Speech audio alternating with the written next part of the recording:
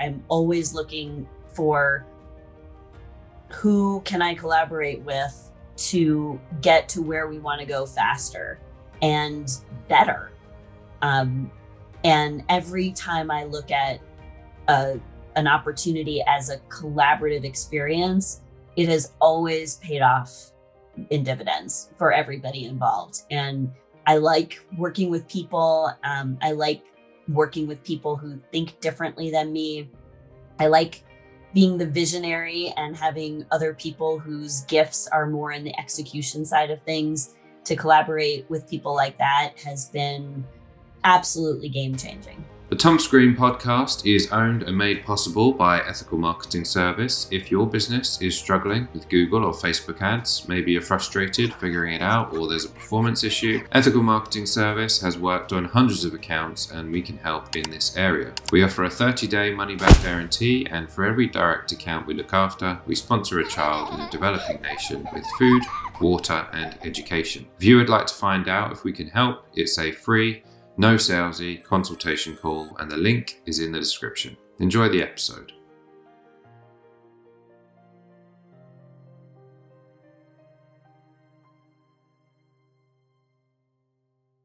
Thomas Green here with Ethical Marketing Service. On the episode today, we have Merit Kahn.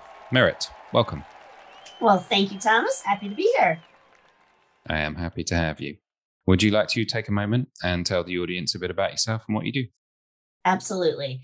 I am the CEO of SELLect Sales Development. We are a sales training, coaching, consulting firm, and we spell it S E L L E C T, not because we can't spell, uh, but because we are all about selling, but we actually want people to stop selling and start getting selected. See what we did there? um, when I'm not in front of an audience doing a a keynote or inspiring them to open their minds to close more deals. I'm coaching and consulting companies that are hiring salespeople. They need to get them up to speed very quickly. They are, or I work with professionals and entrepreneurs, anybody that sells something complex, creative, custom, nothing that you could click here by now. But if it requires a consultation and you need to be good at moving somebody from disinterest to open minded to hearing your offers, that's what we do. Thank you for the introduction. Um, I've noticed that there's a theme about, uh, should we say, open open mindedness, whether it be whether the context being um, leadership or sales or um, opportunity. Would you like to go into kind of what that means to you and what you what you teach others on that topic? Yeah, I think that you know, first of all, after being in sales training, coaching, consulting for more than 20 years now, it dawned on me at some point that you really could have all the right words. You really could have a perfectly orchestrated sales process. You really could have the best products, services, solutions, offers, and options for for your ideal target market. But if they're not open to hearing any of that, it doesn't really matter how amazing your stuff is or how articulate you are. None of that matters. So, somewhere along the line, I learned that the first step to a closed deal is always an open mind. And what I've been working with people on is that question of okay, well, if that's true, and it is, how do you open someone's mind to hear your offers? Because if you are you know just if you're if a salesperson is has dug their heels in the ground and they know exactly what they want to sell or they are talking to a type of prospect that they've worked with many many times and they kind of know all they know what that person needs or that company needs so they've been there done that and they are very clear in what their offer is but but sometimes we need to remind ourselves in uh, in our sales role to stay open to the possibilities that we may uncover a lot of um, needs that they have beyond the original uh, concern right? So if somebody is contacting me like they know that their their company is growing this is a situation i had recently their company is growing Um, they know they need to hire salespeople. In the past, they've made a lot of hiring mistakes. They've had very costly turnover issues. Um, they've they've which has impacted morale for the people that they already had. There's just a, a like a tsunami of issues that come when you make bad hiring decisions, especially in a sales role. And so they were in, they were very clear that they wanted to do it better. And so the question that they brought me was, can you help me find good salespeople to hire? And of course, if I were to just go on that one issue, um, we're not a recruiting firm, so I don't I don't go out and, and find those people, but I can certainly impact that issue. And because I was open minded, because I knew that the question that they were bringing was really the the be all and end all question that they probably didn't know all the host of other things that is available to them once we do get that right person. You know if you get the right person then you put them into a flawed onboarding experience you're going to lose that right person. And that's even more costly right? So there were so many other issues but they didn't understand that at the time. And so because i was open minded and I helped them open their minds to the the whole project scope. Now we're able to solve the real problem and make sure that the solution actually works for them. And were you able to help in that uh, in that instance? Yeah, and then in that instance, there were a combination of things. So I worked with, uh, collaborated with a, a, recruiting firm that specializes in finding top performing salespeople. This was a, a technical business. And so we made sure that we were working together so that I was taking sales language, writing the right um, job posts for them so that they could attract the right people. Um, the the recruiting firm was integral in making sure that that meshed with what what they do. Um, they handled all of the the selection and the interviews and all of that process. And then once while they were doing that, I was working with the organization to make sure that we were building a good process to put that new salesperson into as soon as they accepted that position. And so we really built out the the onboarding process and came up with all of the things that that new hire would need to know and all of the systems and tools they would they would have to use in their role and we designed all of the training around um, helping that person be successful in the shortest period of time possible with the least amount of managerial oversight. So, working in collaboration with the recruiting who was out looking for the person and at the same time building that process to help them be successful once they did take that job that was you know that was really the ultimate solution for this client and um, when did you start realizing that this was an issue in the sense that uh, there are some people who would just take that at face value. Um, how long have you known that perhaps there's an openness issue to contend with? Well, Thomas, I suffer from a very debilitating disease. It's called possibilityitis. um, I think uh, do you remember that movie? What was it? The Sixth Sense and the the kid and and he said, you know, I see dead people. Well, my secret power is I see possibilities. I see possibilities everywhere and I can't turn it off. So I think, you know, just that natural wiring in me and a natural curiosity and a desire to help um, was sort of the perfect storm. And so I and somewhere along the line I, I know i did my own professional sales training you know early in my career and i'm i'm pretty sure i learned very specifically the question that the prospect brings you is never the real question. Keep digging just a little bit. Get curious. You know not in order to expand an opportunity but because it's the right thing to do for that client. And um, in the scenario I just shared with you, asking better questions not only led to a deeper engagement from what I was able to provide in my area of expertise, but it also was the right thing to do to introduce them to other partners that I collaborate with to get the real complete solution.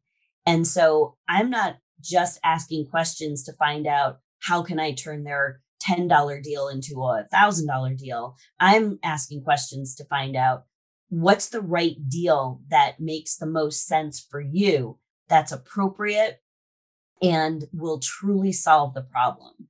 And when I come at it, when, I teach my clients to come at it from that perspective, it it's just naturally expansive and new possibilities arise that you didn't even go into that initial conversation thinking could be an option.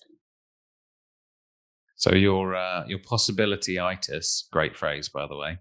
Uh, you've always you've always had it. You said always, always. It's uh, eh, the other thing I've I've learned along the way is it comes from a very high level of optimism and I have done enough uh, assessments on my myself because I'm always testing things out for new tools and uh, things that I want to bring to my my business, my clients.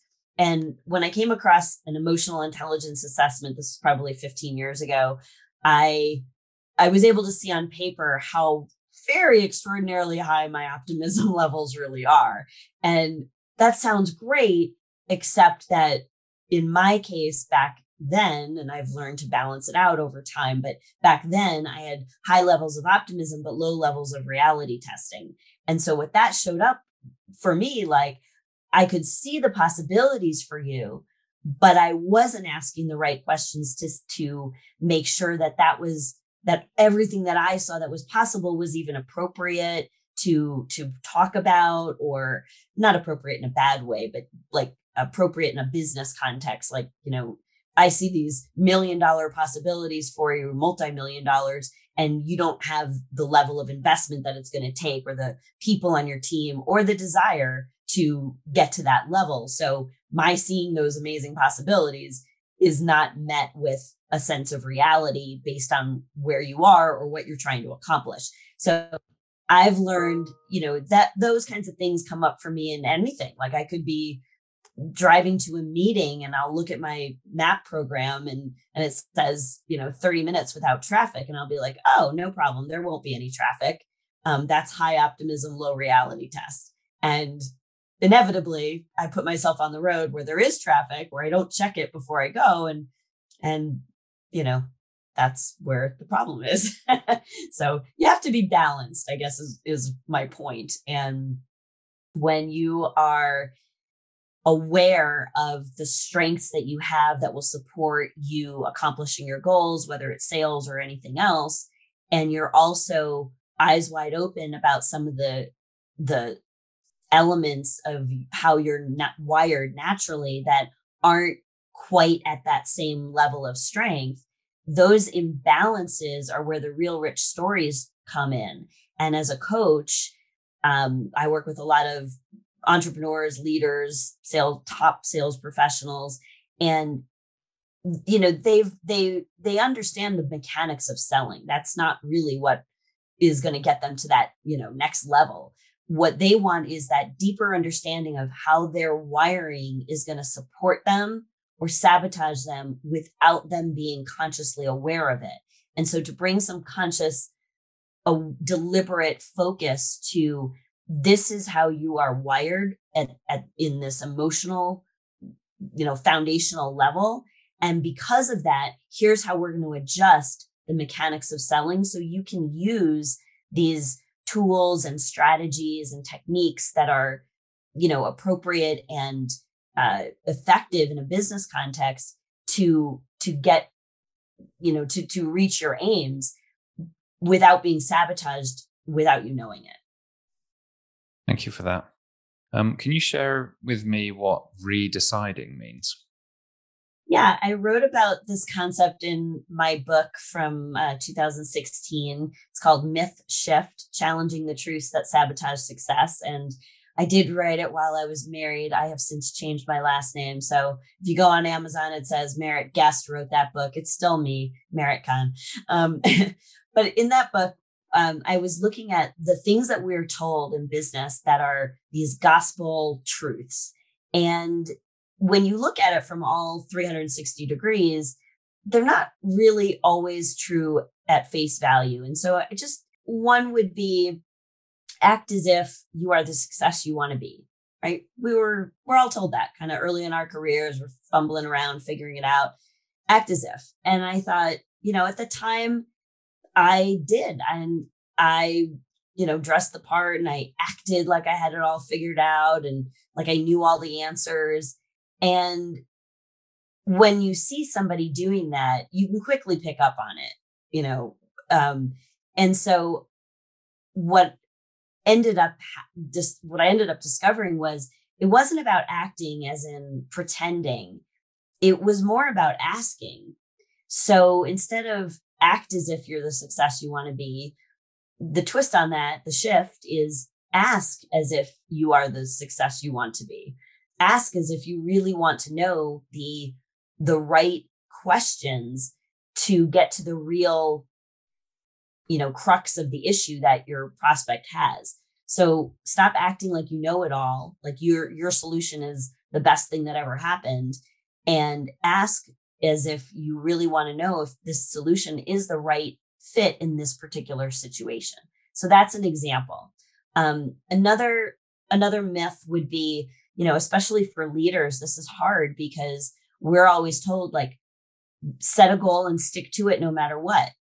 And i used to subscribe to that advice wholeheartedly like find a way make it happen you know you know at any cost like go for it get that goal and what i discovered later was that's terrible advice because uh, at the beginning of the pandemic as an example i know we're all over it but it's a universal shared experience so it's a good example but my business model the the goal that i had set january 1 2020 was I was, you know, starting to sort of phase out. I was turning over some of the sales training, coaching, uh, project work that we do in the company to another coach. And my role as the CEO was more speaking at conferences, generating that awareness, you know, and then driving people to the sales training company. Well, obviously, if I had stuck to that goal no matter what, that my personal role in the business was as a speaker at large events, I would be starving right now and the business would be over.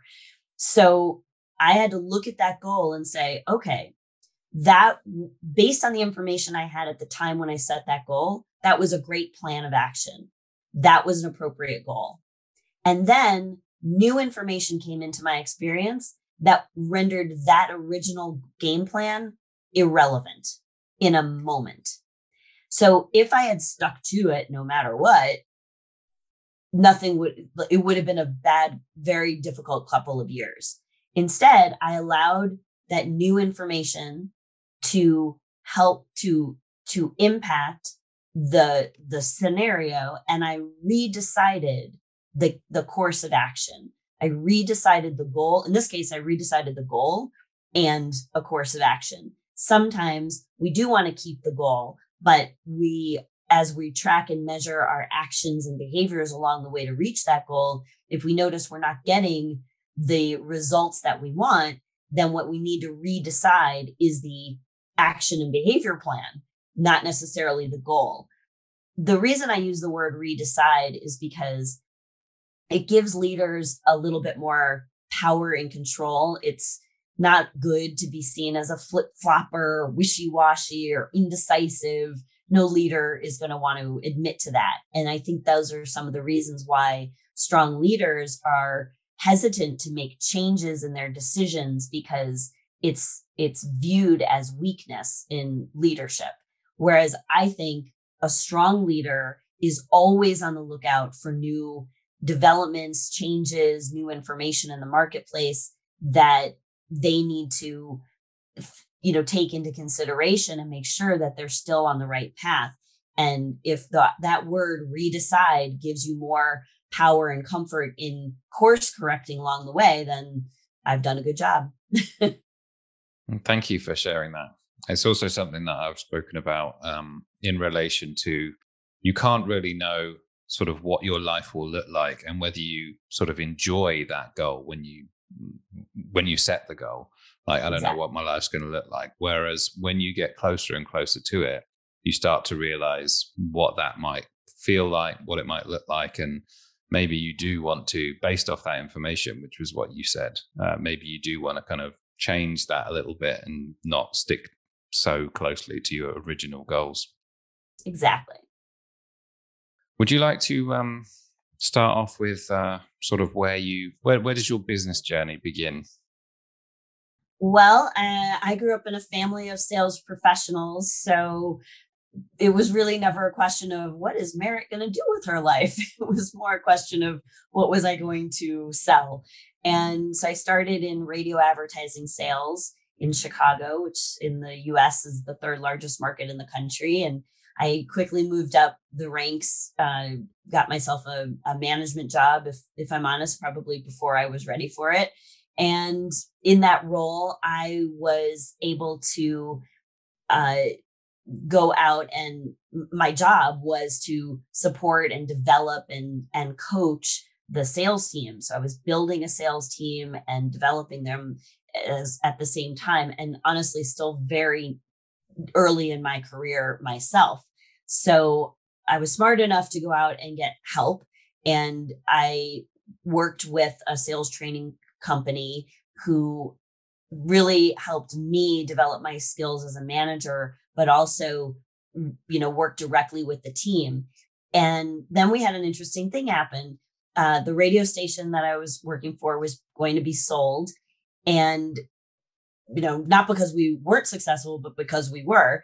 And so a bigger company was swallowing us up. And my choices were at the time felt like, well, I don't want to work for that other company. Um, I I could go out and get a, you know, look for another job at a different station or something, or I could do something else. And I looked around and I noticed that a lot of the women at that time in that business really didn't have much else going on in their lives besides the high powered, you know, the C suite role that they had.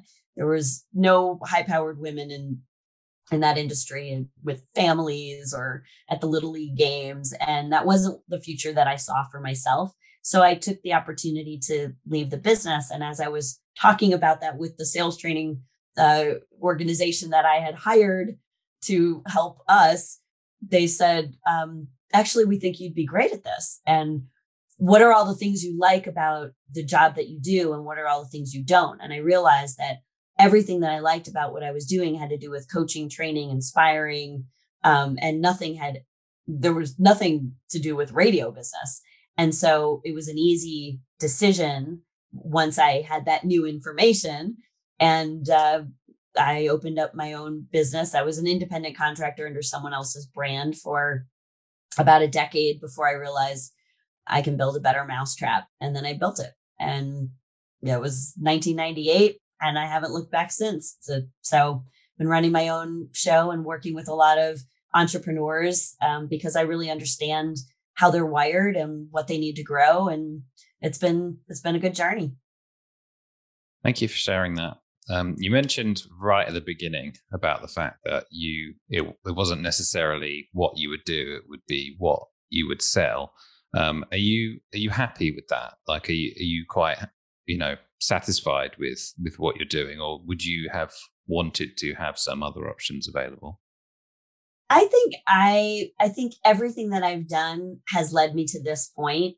I think um, I remember being in a Tony Robbins seminar very young and walking on hot coals and doing all the things. And I remember saying to myself, that's what I want. I want to do what he's doing. And I didn't have any structure for how that would happen or how does somebody become a professional speaker like none of that in my mind at all and because i was on a uh, in a in a role where i got to promote the sales training um, services that we had, I started doing these workshops for business groups and chambers of commerce and different things. And so I would do this quote unquote free talk. And at the end of it, if people wanted to learn more about our programs, they could let me know that. And so I found myself speaking in front of groups. And one day a woman came up to me after one of the programs and she said, We I'd love to have you speak to our group. I'm I'm I'm sure we can't afford you. I don't want to insult you. Um, you know, would you ever, you know, what do you charge for speaking? And I at that point I was doing them for free. like there was no speaking fee. And I said, well, what do you normally, you know, what's the honorarium you normally pay your speakers? And she gave me a number and I was like, well, that's not my normal fee, but you know, I, I'll make an exception, you know, you're so sweet or whatever. And that was the first moment I realized like, oh my God, I could get paid for what I'm doing for free. And it it opened my eyes to like, oh yeah, that dream I had, that that vision that I had sitting in a Tony Robbins seminar, like I can kind of see a pathway to it now. And so I think I'm in the perfect role for how I'm wired naturally and what I love to do in the world. I love to talk. I love to inspire. I love um, watching people see what is possible for themselves and being the person that can guide them through an experience where they can discover for themselves that more is possible. Um, and I love being somebody that can give them access to those possibilities through, you know, strengthening their mindset, strengthening the mechanics of selling, um, helping them to be in more consistent motion with some of our accountability structures and things like that. So I love that I have the tools as well as the the mindset to really create positive change for people and help them see more for themselves and the people that work for them. I do um, sometimes ask about the the first paid client because it's just sort of like sticks in your mind and it's great to hear. Um, but I, what I was going to follow up on was um, you said that you were um, operating under someone else's brand for, I believe you said, 10 years. Um, what did it look like when you decided to go out on your own? And what, what made you make that decision? Um, you know, that's a great question. There were so many factors that went into that making that decision. One was uh, like a physical lo- geography location move. So that was probably the biggest factor. But if I think back even before that, I, I was frustrated. I think there are some people that how they're wired is to give them something that's already fully baked and then they can just run with it. And while that was appropriate and necessary for me early in my career, I got to the point where I could again see that more was possible. So, for example, um, one of the things that I remember hearing often in this particular organization was the they would say, "Don't get creative, just follow our system," and that works for a lot of people. That did not work for me. So I couldn't. In fact, there there was uh, there was a particular situation where I had two guys in my training class they sat next to each other in class. They worked for the same company. They were hired around the same time. They they sold the same products and services at the same price point in the same territory. And honestly, I thought they even looked alike. I mean, everything was the same between these two guys, except that one of them, Steven, um, would sit in my class, learn something, and then he'd be like out the next day, putting it into action, getting results. He would constantly call me and be like, Merit, you wouldn't believe I just had this great call and this is how the this is what happened. And he was knocking the cover off the ball. And then the guy sitting next to him was Daniel. And uh, I never got calls from Daniel with success stories. Like his manager told me, yeah, he's doing okay. We're not seeing much. It was just marginal change. And it really shook me because I thought, how can I take credit for Steven's success if I'm not also taking responsibility for the fact that Daniel hasn't done much with it. And so it can't be the content. it can't be what I'm teaching them because they're learning the same thing from the same person in the same moment. And when the company would say, you know, don't get creative, just do the system. And then I would look and see in my real experience what was happening. I realized it wasn't the system. And that made me seek out, well, what else is it?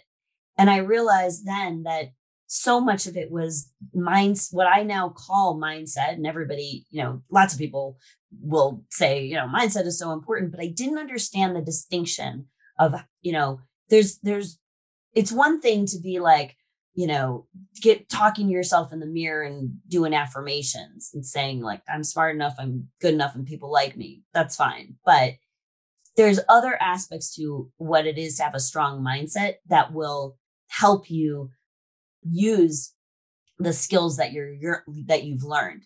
And so i look at mindset in three ways. There's your internal mindset that's what you say to yourself there's your behavioral mindset. That's what your actions say to other people.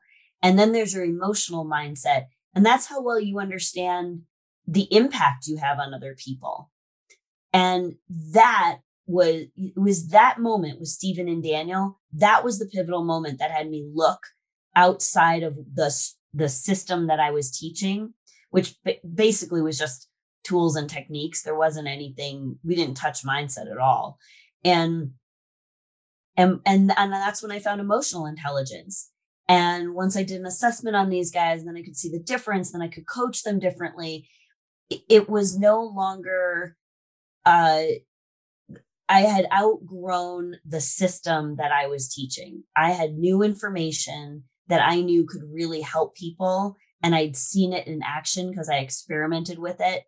And to go back and just ignore that and only teach this here's what to say when a prospect says x was horrifying to me. I, I couldn't do it. And that's when i knew i had to leave.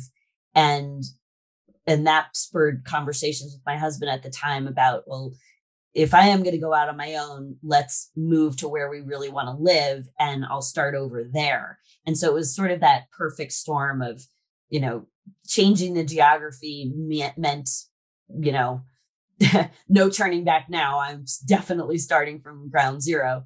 And but it it came from I think that moment with Stephen and Daniel when I realized I can't I can't teach the basics if I know that that's not going to be the thing that makes the difference for people. Because you got possibility itis, right? Exactly. All goes back to possibility itis. But um, you mentioned the three types of mindsets, which I love, by the way. Um, of the three types, what is typically taught? Meaning, what are they? What are the two that are being left out by people that talk about mindset?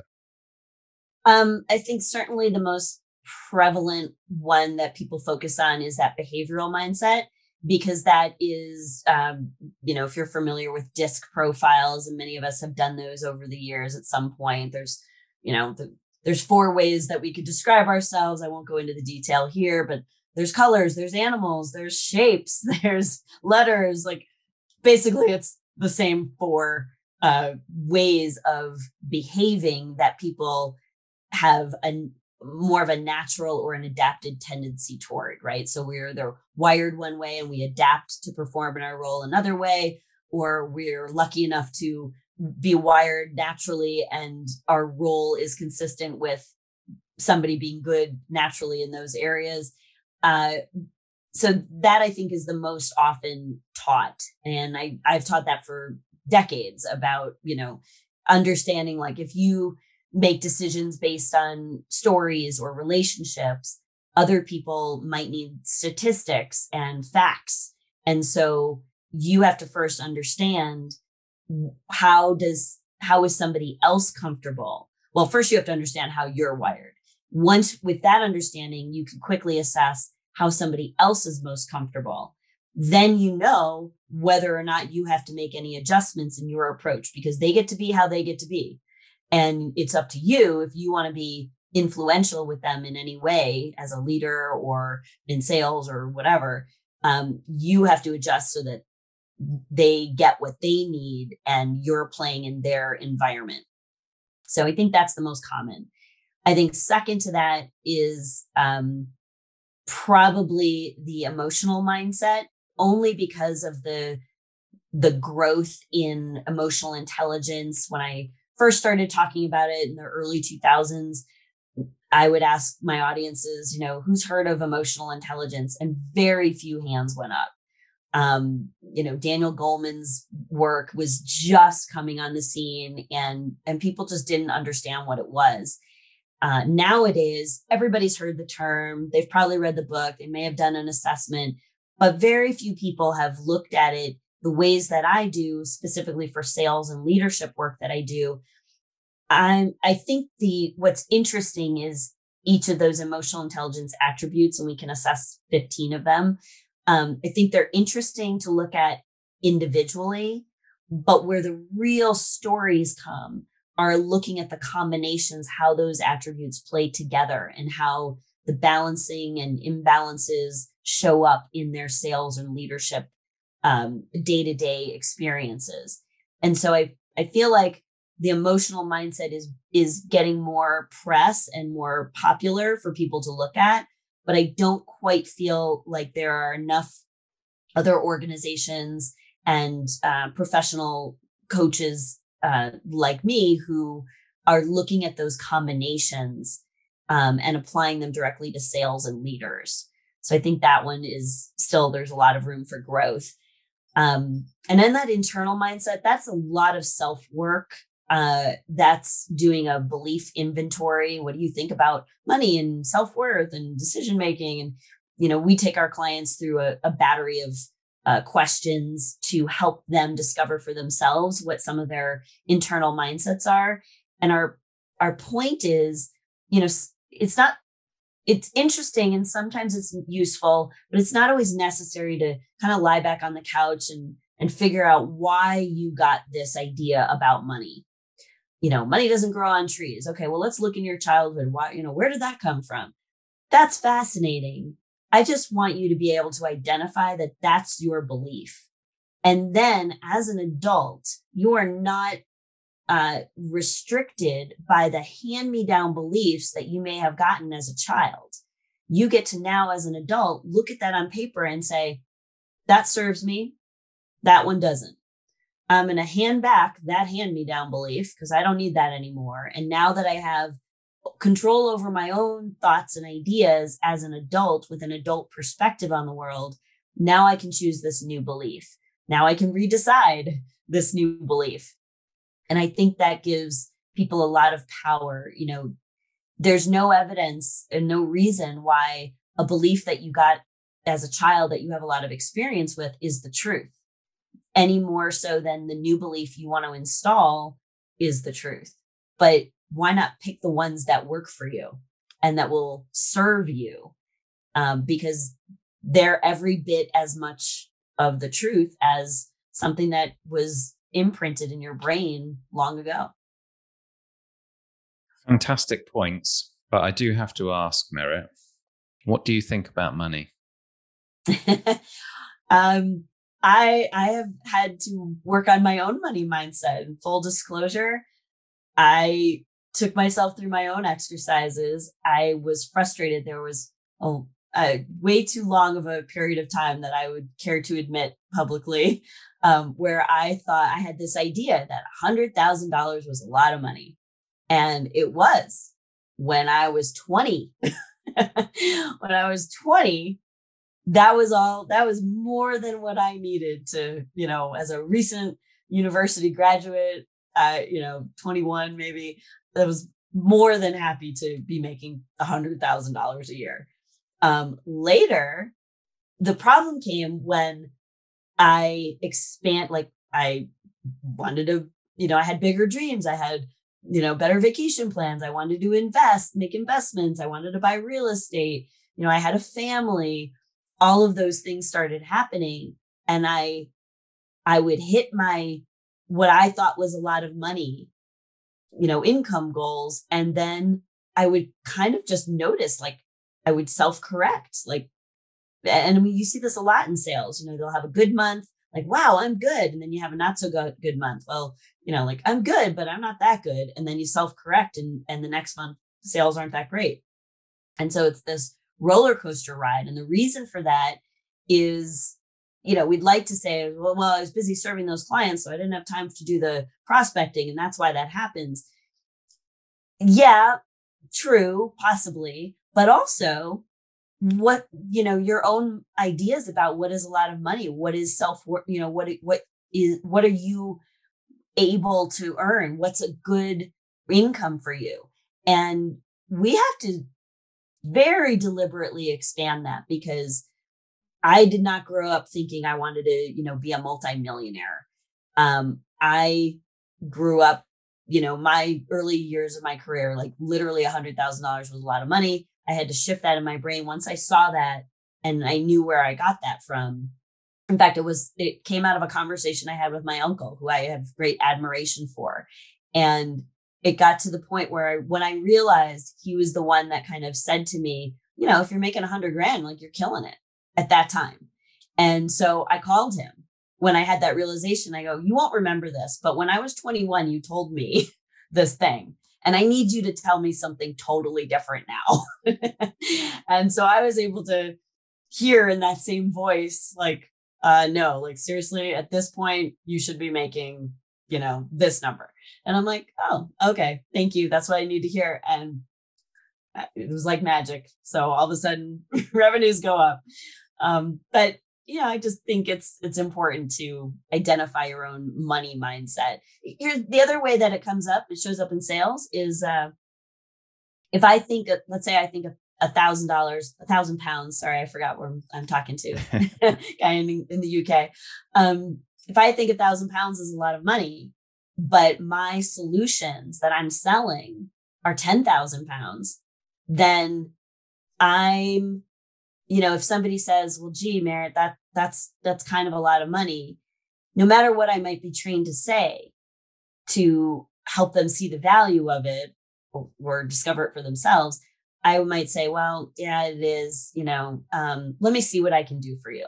Because I also think it's a lot of money, right? So it's our own money mindset, particularly in sales, is going to impact how we sell. How we buy impacts how we sell. What we believe is the truth is going to impact how we see the objections that our prospects gives us give us to.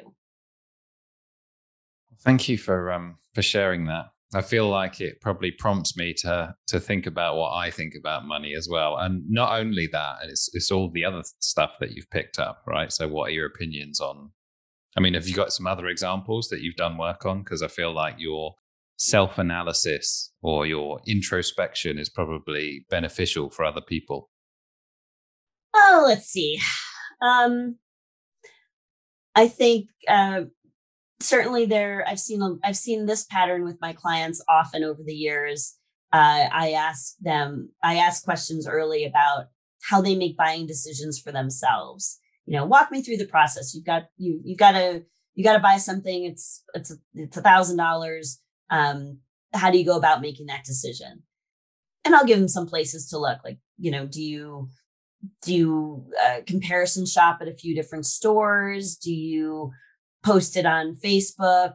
You know, hey, who's who's got a a new grill? You know, I'm in the market for a grill. What's your favorite? Like, do you crowdsource? Do you go to Yelp? Like, what I want to understand how they buy something for themselves. I know, and the reason I ask that is again, same reason how you buy impacts how you sell. So that gives me a just by asking questions that they're they're like, aren't you supposed to be like coaching me to to sell better, like the mechanics of selling, what to say? I'm like, yeah, yeah, yeah. Hang on, hang with me. I know what I'm doing. Um, but when I have an understanding of how they buy, I can I can adjust the sales process. I can say, um, you know, I can teach them to say things in a sales conversation so that their process doesn't sabotage them anymore. It's like, you know, like they might even say to somebody, um, you know, if you're open to it, let's have a conversation and see if we might be a match to work together. Um, you know, uh, because rather than you going through all the effort of, you know, asking every friend you've ever met, you know, what grill they use and, you know, putting it out to anonymous Facebook, um, let's just see what what really works for you. Or, you know, like we can kind of massage the language so that how they make their own buying decisions doesn't come up to hurt them. And the flip side, sometimes when I ask that question, I get very strong buy, buying process. Like, you know what? I see something, you know, I, I know I need something. I go after it. I hunt it. I kill it. I, I don't second guess myself. I've never returned anything in my life. Great. That's those are some strong, stronger buying mindsets that are going to support you in the sales process. So it's important. That's why we that belief inventory, that's all part of that. Like how do you buy? How do you, you know, is impacts how you sell. And I have a lot of different philosophies like that that impact how I coach and my ability to get to the heart of the issue with people much quicker than in a, you know, traditional online course that's going to tell you how to get more clicks or whatever. And how do you buy something? Me?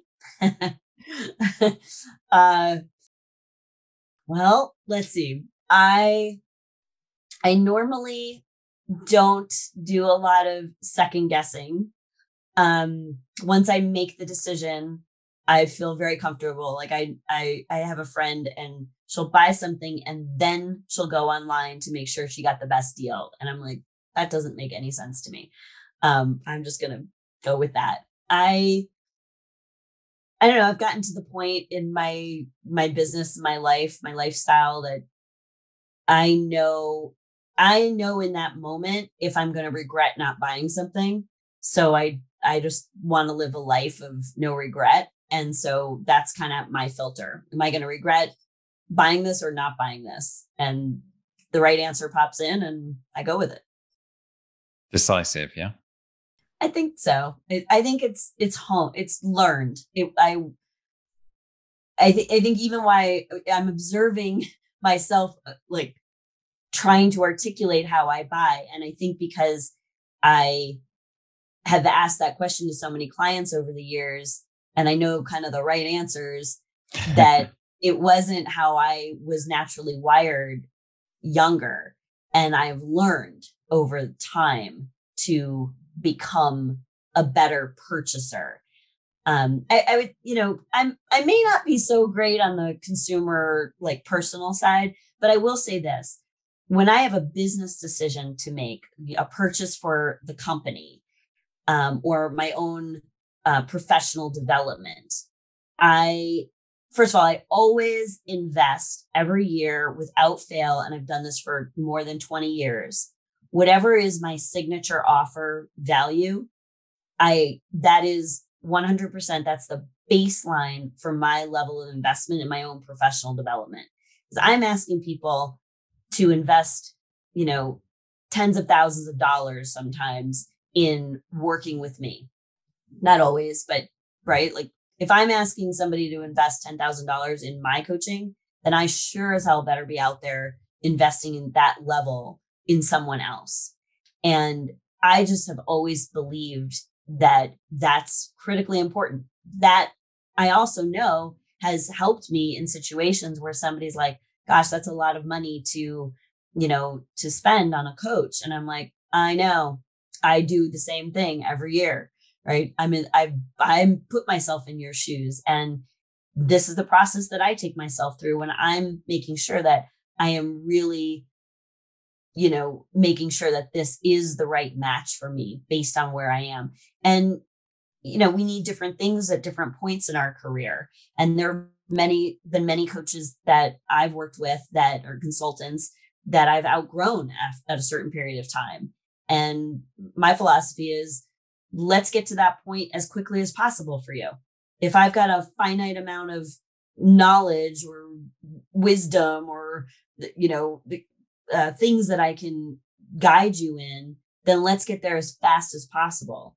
And it should. I don't want you to hire me based on a time frame I want you to hire me based on a this is the outcome that I need to get to, and you're the one to get me there. Great.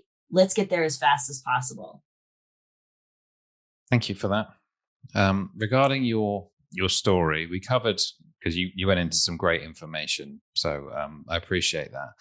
Um, but we covered it sort of in I don't know bullet points, I suppose, if you like. So uh, adding one more, um, what would you say are some of the biggest uh, challenges that you've had in your in your current business?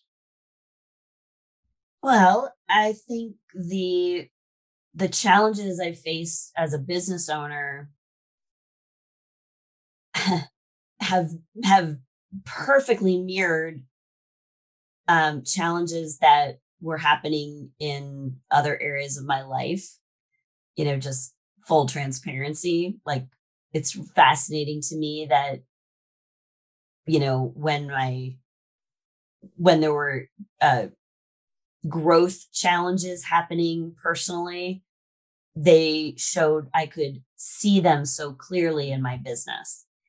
Um, I just always found that fascinating. I think um, probably the biggest challenge for me as a business owner has been moving from lone ranger i can do it all myself um, or i have to do it all myself because i was bootstrapping and and more afraid to make investments in the business. And i think what was happening simultaneously is even though i was um, a very uh, you would never have called me um, a lack of confidence type of person but I was dealing with some things personally that had me um, questioning my own self worth. And so how that showed up in my business was I, I, I wasn't betting on myself. I wasn't, I wasn't um, comfortable investing in my own business. And that I, I think based on all of my time on a couch, I realized was coming was rooted in the personal um, you know challenges I was dealing with. So there was a simultaneously uh, there was a symbiotic relationship between becoming stronger, getting back to who I was in terms of my own self worth and confidence and strength. Um, that that perfectly meshed with making investments in the business, getting help, collaborating with others, um, really looking for expansion beyond just how can I grow as a solopreneur. It became more about, you know, an organization and how can I grow exponentially. And to do that, I needed more people and um, even even freelancers. But I, I think I wasn't ready for that. And I know now looking back that the that was not at all separate from personal challenges. So anyway, I, that may have been more more more than you wanted to know on that question. Um, no, no, it's, I, uh, it's, it's great. I'll, I'll, I'll do the flip side of the question. Thank you for okay. sharing that anyway. And the flip side is, what are your biggest wins? Uh, the biggest wins have certainly been um, taking on the CEO role at SELLect Sales Development. Um, I had had a, a, different brand. SELLect was being run by um, a friend of mine who passed away far too young. And in an effort to help serve clients who had already paid her business, um, I I stepped up to to just do what was right, to do to do the right thing for her, her kids, her business, her brand, and um, and then was offered the opportunity to take on the leader, uh, you know, the leadership role at that company, which like overnight, you know, it expanded uh, what was possible for me and for the brand. Um, and so I made some, you know, really let go of my own brand and we kind of took the best of what I was training and the best of what um, the SELLect team had created and merged everything. And I think it made the the solutions and our programs much better for all clients involved.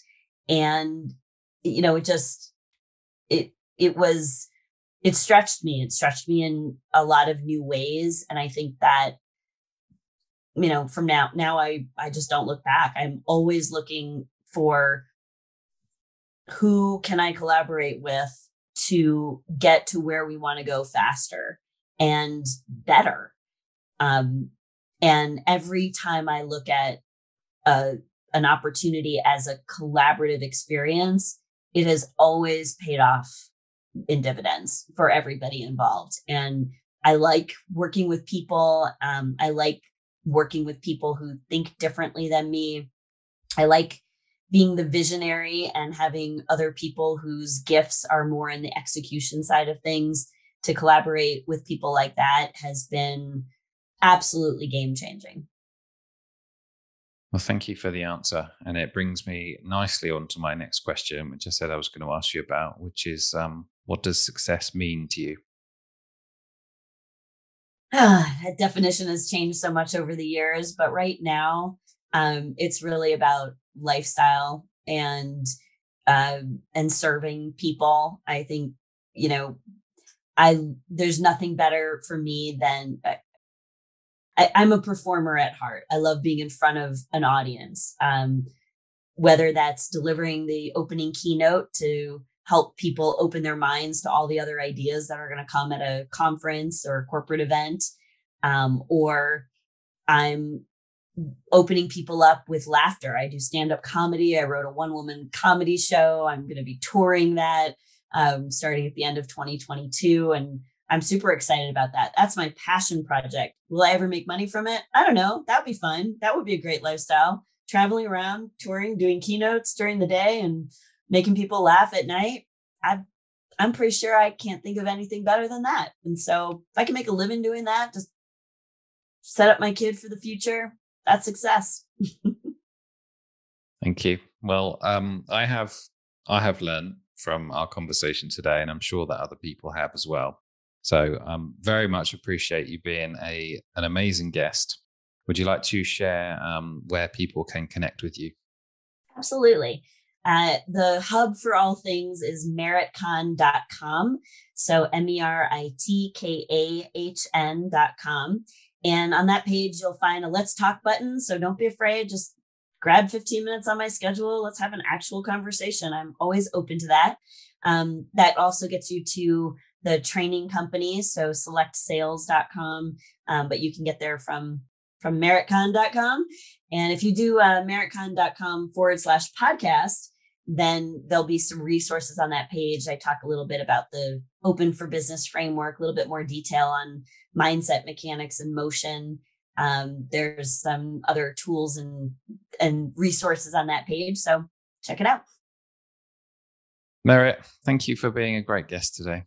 My pleasure. Thanks for having me, Thomas. Appreciate it.